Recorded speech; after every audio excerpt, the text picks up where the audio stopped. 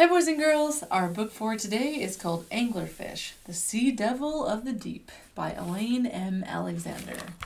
And we borrowed this book from the Central Skagit Library. It's scary. far, far below the ocean's surface, where no trace of sunlight can reach, Anglerfish makes her home. She glides slowly through the dark water, always on the hunt. Her jaw protrudes, bearing razor sharp teeth she is a fearsome creature. She is the sea devil of the deep. Anglerfish do not always reside in shadow. Her life began as a tiny egg on the surface of the Atlantic Ocean.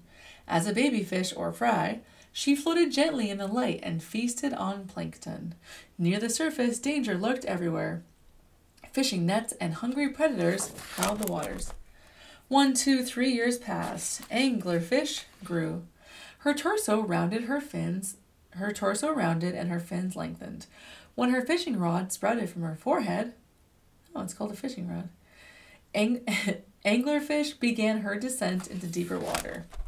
Halfway there, where streaks of sunlight still teased their way through the green gray o- gray green ocean, anglerfish wobbled in the water. Her cousin monkfish swept by. Monkfish's broad brown green body glistened, and his mouth gaped in the murky sea. Fishing boats were trawling. Engines churn as they drag a net, scooping whatever it is in its path.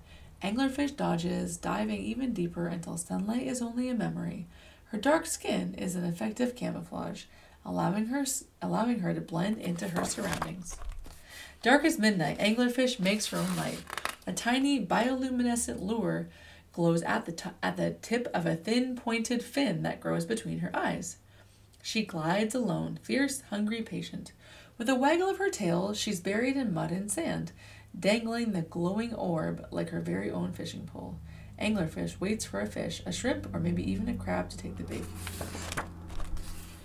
Shadows shift. She wiggles her lure, hoping prey will mistake her light for a tasty morsel. A crab shuffles closer. Anglerfish's stomach distends.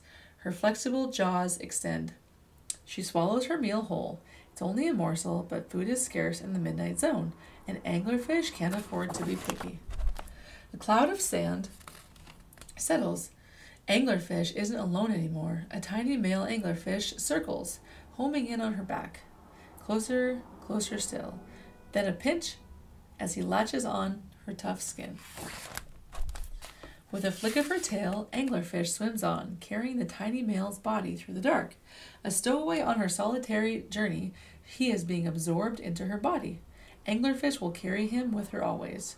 Theirs is a union necessary for survival. Interesting. Anglerfish is ready now. Her most important work begins. She releases fertilized eggs, too many to count. They stick together, a thin protective gel binds them on their journey. The massive spawn rises up through the ocean, higher and higher until it is out of sight. Far, far below the ocean's surface, where no trace of sunlight can reach, in the darkest, most sparsely inhabited place in the sea, Anglerfish is alone again. Wow. That was really interesting, actually. There's a bunch of facts after that. Oh.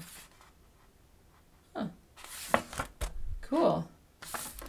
All right, boys and girls, we hope you enjoyed that book. Have a great day.